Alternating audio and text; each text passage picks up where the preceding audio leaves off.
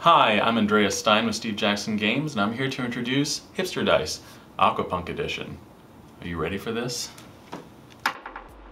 Oh, I don't think this is a good idea. Oh, I'm gonna be sick. Sir, does this turn off? Nope, that didn't do anything. Oh, that's no good. Good.